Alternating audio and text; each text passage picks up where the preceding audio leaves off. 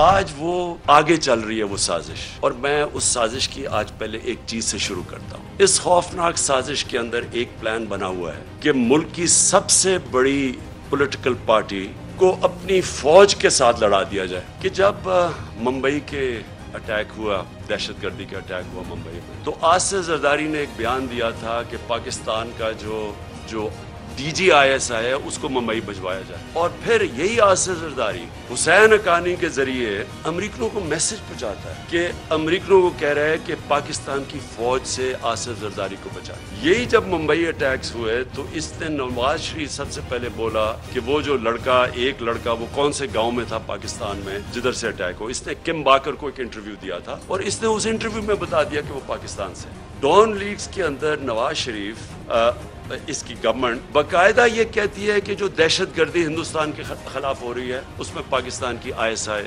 मतलब ऐसा पाकिस्तान की फौज। और नरेंद्र मोदी बार बार पाकिस्तान के सिपा सलार जो तब थे जनरल रहील बार बार ये कहते थे कि वो दहशत गर्द है दहशत गर्दों का सरदार है। तो आज ये बताया जा रहा है कि हम अपनी फौज के खिलाफ हैं और ये अब मोहिब वतन वो पाकिस्तानी बन गए हैं, जो कि आके हमें गद्दार कह रहे हैं। मुझे, मैं समझता हूँ ये भी एक साजिश के तहत गेम चल रही है हमारी पार्टी को कमज़ोर करने के लिए। और वो जो एक बैरूनी साजिश, वो चाहते हैं कि कमज़ोर, हमारी पार्टी जितनी कमज़ोर हो, उसके बाद उनके लिए आसान होगा मुल्क को कंट्रोल करना। शबाज गिल ने जो कहा, और अगर वो कानून के खिलाफ था तो बड़ा आसान है।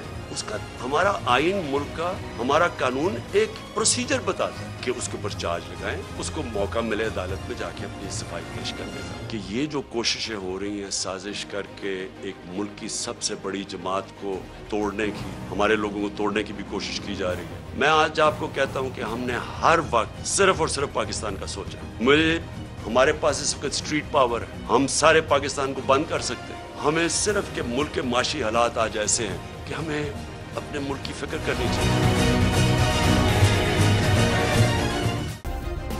सब्सक्राइब करें और बेल दबाएँ ताकि कोई खबर रह न जाए।